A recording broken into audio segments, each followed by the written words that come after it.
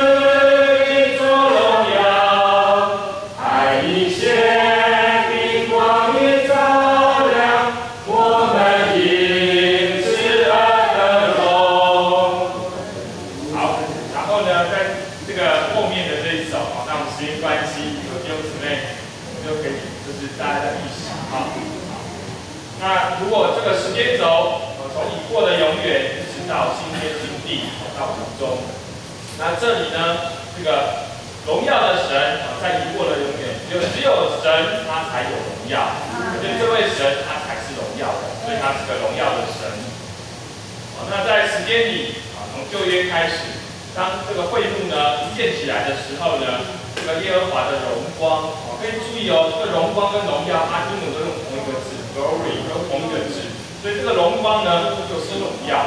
好，那当这个会幕盖好的时候呢，这个荣光也就是荣耀，就充满了这个帐幕。那在圣殿的时候呢，啊，这个所罗门王建好这个圣殿的时候呢，耶和华的荣光也充满了圣殿。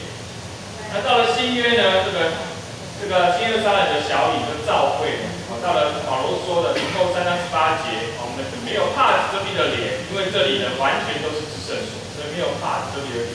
我们就像镜子观看，并反照主的荣光。啊，看这边的荣光跟荣耀都用 glory，都是同一个字，所以可见这个荣光跟荣耀呢，其实它是同样的一个意识。啊，只是光是这个神的彰显，但这个荣耀呢，它是能够把它量化的，它是有一个分量的，神的光在我们里面有多少，就是带进多少的荣耀在我们里面。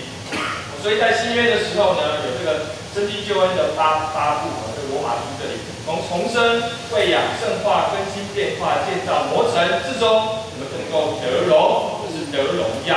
好，那这个荣耀呢，完全是从主灵变化成的。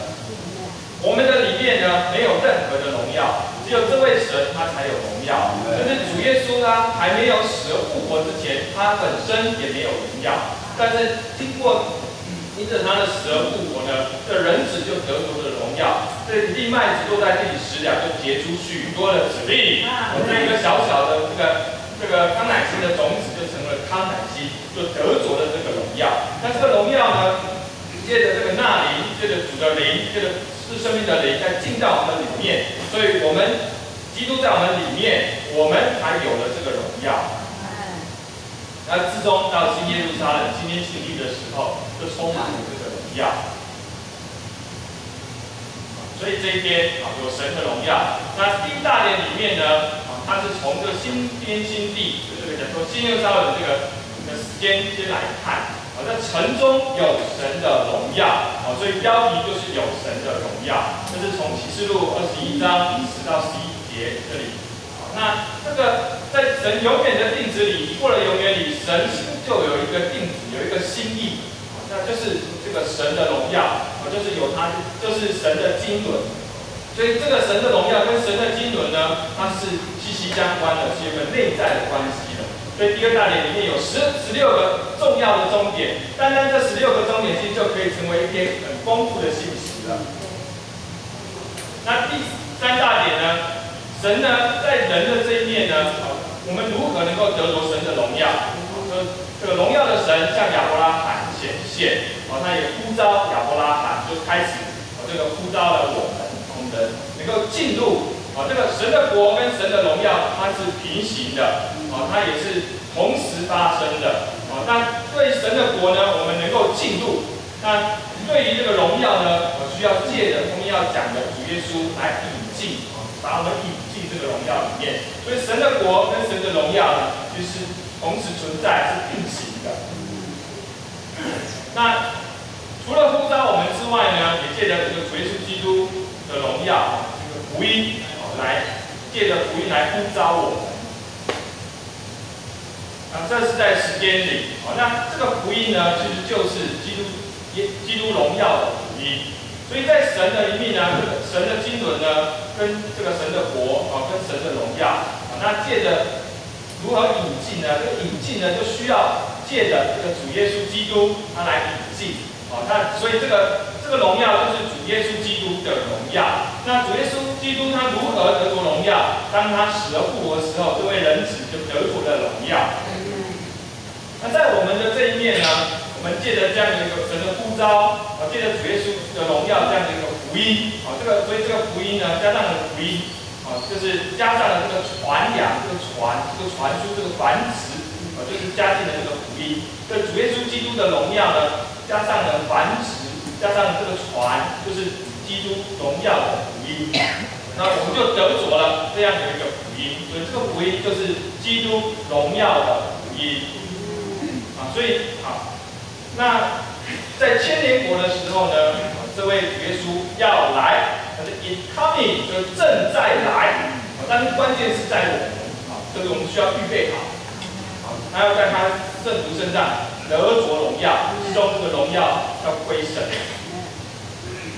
那这个引经的部分，啊，第一大点的部分呢，啊，其实它就是讲到这个有神的荣耀，就是从十录二十一章十到十一节这里，啊，那第二大点呢，啊，就讲到这个神的经纶跟这个神的荣耀的关系，所以这里呢有神，也讲到这个羔羊，这个救赎的羔羊，所以就讲到神的经纶。那第三大点里面呢，他用铁钱二章十二节告诉我们，行事为人哦，需要能够配得过啊这个神的国跟神的荣耀啊。那所以这神的国跟神的荣耀呢，是同时发生的，是并行的啊，是带着一个一个权柄、一个能力的管制。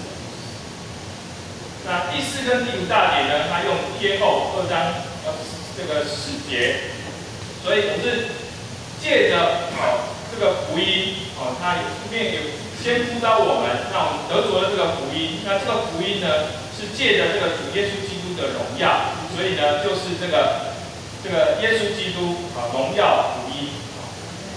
那之中第六大点啊，就是我们需要顺从。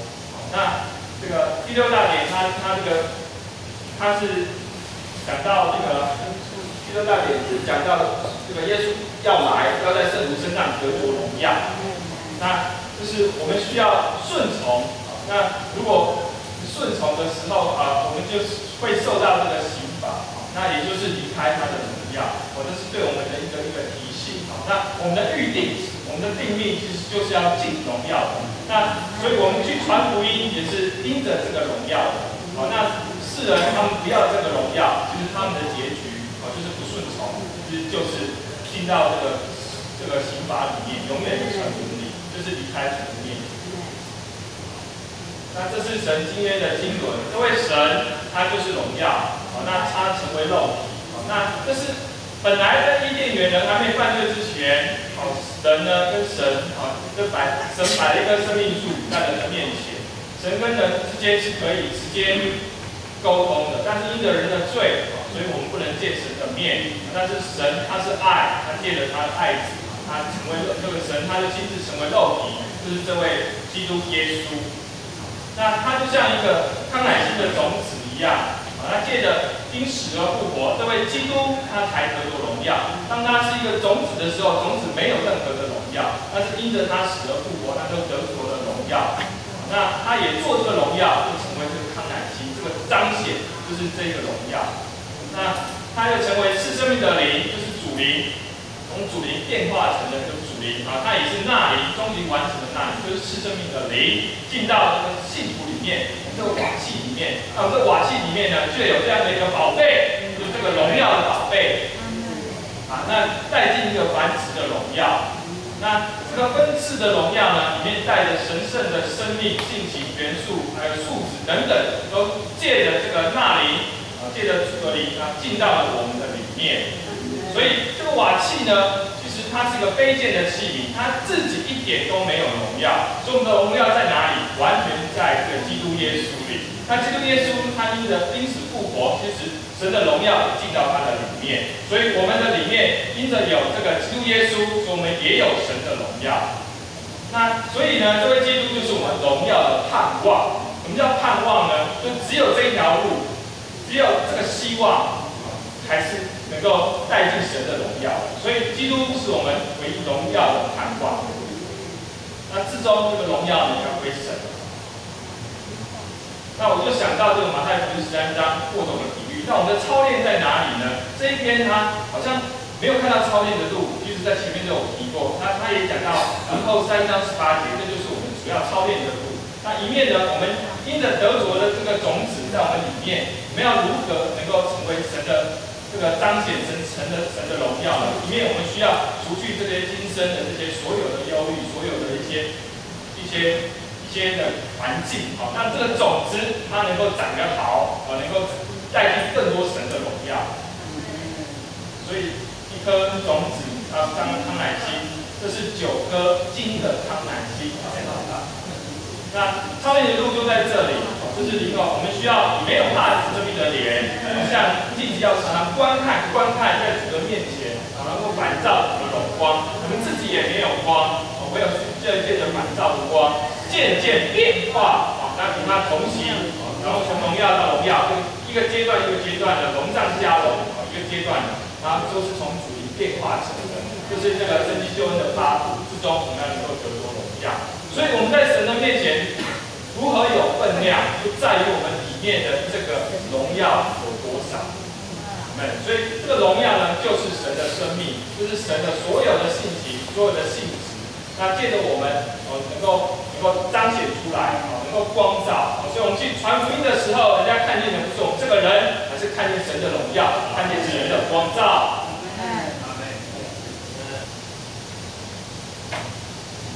啊，这篇信息来讲的话，它不是在神新约经纶的这本书里面啊，它算是这一些信息的最终的一个总结，来告诉我们神的经纶，它最终的目标呢，就是不仅神得着荣耀，我们这一班他所拣选、所救赎的人也要得着荣耀。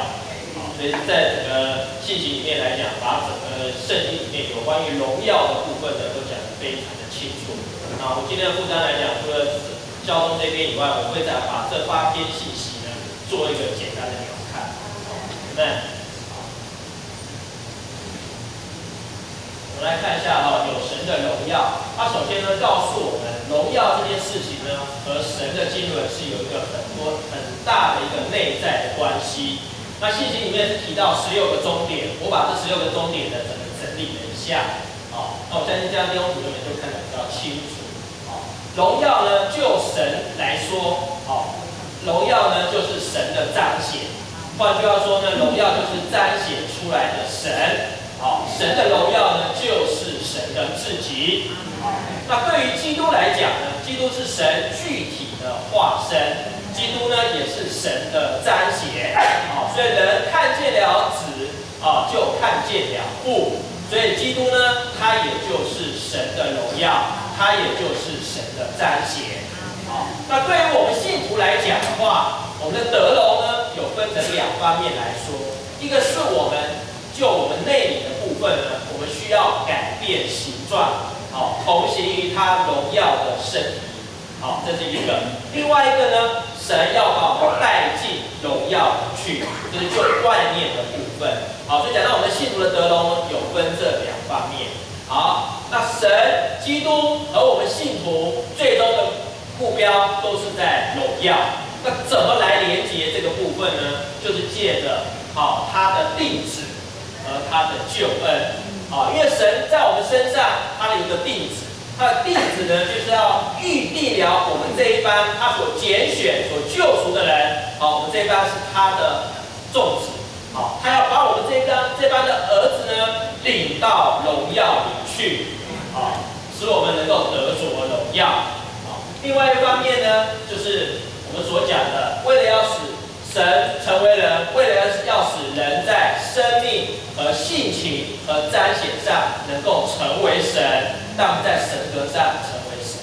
好，所以这是神在我们身上的一个定旨。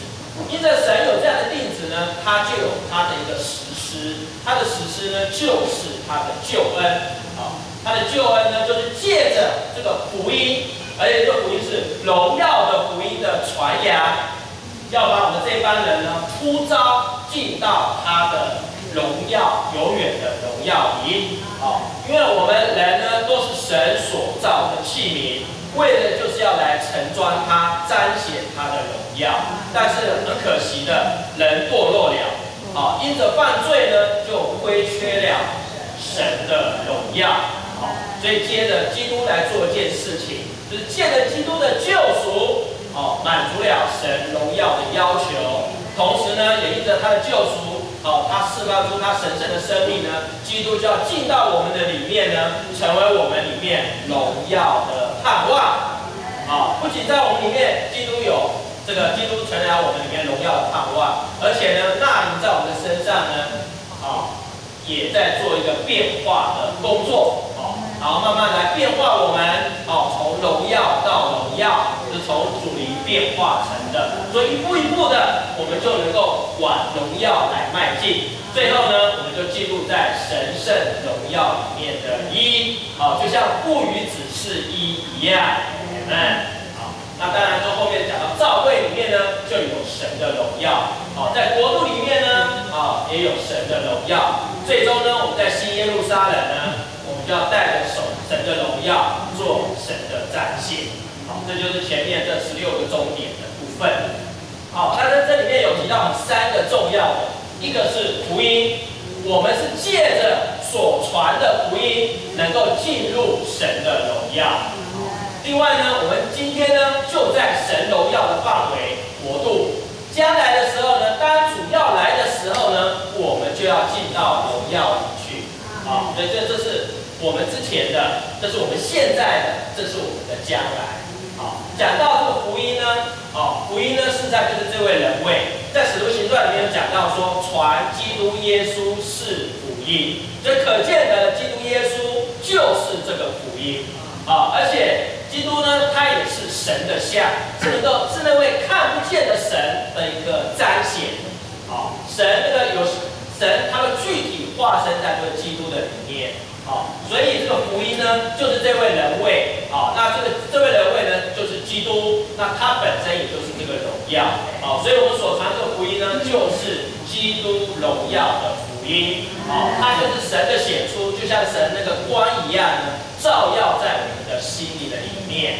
好，它一照耀到我们的心里面呢，就把它自己呢做到我们的里面来，成为了在我们里面的那个宝贝。那我们也需要呢，领受这样的负担呢，把这个福音呢再传扬出去，啊，就将这个神圣的光呢再照耀到我们所接触人的里面，使他们也能够接受基督做他们里面的宝贝，啊，这样呢我们就能够进到神的荣耀里面去，最终能够来沾有荣耀的生命和荣耀的性情，最终能够来彰显神圣的彰显这位神。啊就是我们是借着这位荣基督荣耀的福音，哦而得救，哦而能够进到神的荣耀里面。那如今呢，哦在国度的里面，教会就是神的国，哦神的国就讲到神他的一个哦施行他权能的地方，在这样的一个范围里面呢，有神的彰显，同时呢，神也是他神圣行政的地方，在这边呢，神能够得着他的显著。所以今天我们在教会里面，在神的国里面来讲，我们的行事为人就要配得过呼召我们进入这个神的国和神的荣耀里面的神。那最终呢，当主再来的时候呢，哦，他什么？他就要带着他的荣耀而来。